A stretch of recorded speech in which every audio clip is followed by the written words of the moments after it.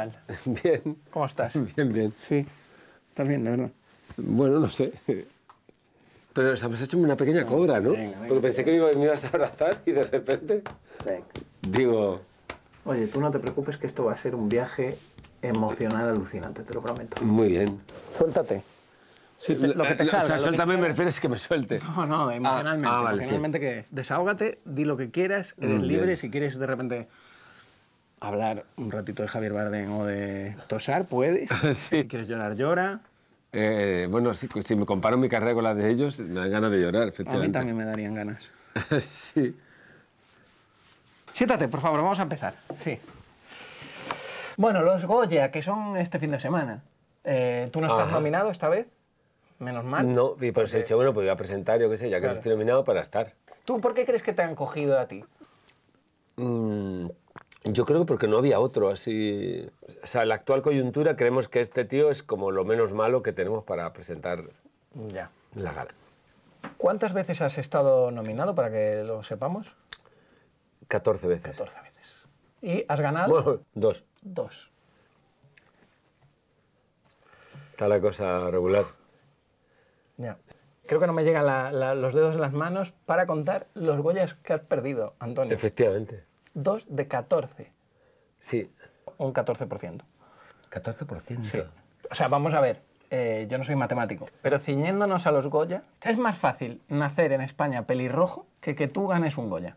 Hostias. ¿Qué te parece esto? Pues bastante fuerte. A mí me daría que pensar. Que yo no quiero hacer saña, Antonio. No, no, no, no, no me lo ha parecido, ¿eh? Si quieres llora. Vale. Que sé que lo sueles hacer cada vez que pierdes un Goya. Eh, no, no, en realidad no. No. Di la verdad. Nunca has llorado por perder un Goya. No, jamás. O sea, entre otras cosas porque siempre pensé que lo iba a perder.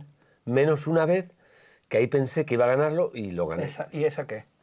Bueno, no, miento. Y otra vez pensé que igual lo podía ganar y no lo gané. Es que hay muchas, Antonio. Y ahí me quedé, esa fue la más... cer- Pero bueno, en general... ¿Cuántas veces te ha dicho un periodista, lo siento mucho? ¿Alguna vez? Te lo merecías. Mucho. Hostia, mucho, tío. 12 veces, por lo menos. Se me lo han dicho mucho. Y luego otra cosa te dicen, no, oye, pero tú bien, ¿eh? ¡Guau! Ah, eso no, es no. el horror. El horror. Te veo mal, Antonio. Por favor, ¿podemos sacarle un plano corto de, de su expresión? ¿Miro a cámara o no? No, bueno, sí, mira a cámara. ¿A esa? La cara de un hombre destruido. ¿Tú nunca te has planteado ir a Hollywood? Ya para empezar con los Oscars. O sea, me hubiera encantado, pero es otra de mis grandes derrotas. ¿No te han ofrecido papel de narco, que es lo que le ofrecen a, a No, todos los no, actores no, no, ni españoles? siquiera eso. ¿No? Hice alguna prueba así para narcos, pero no me cogieron. ¿Pero porque se enteraron de lo de los Goya o porque Seguramente, no- o hiciste sea- la prueba y no te salió? Sí, exacto, no me salió. Puedes hacerme de narco a ver qué tal, qué tal lo haces. ¿Qué cojones quieres?